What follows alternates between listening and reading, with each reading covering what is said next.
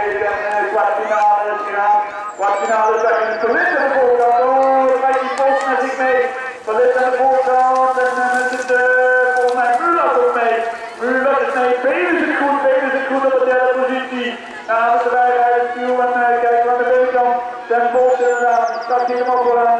Moet nou uh, oppassen, moet die derde plaats gaan racen denk ik.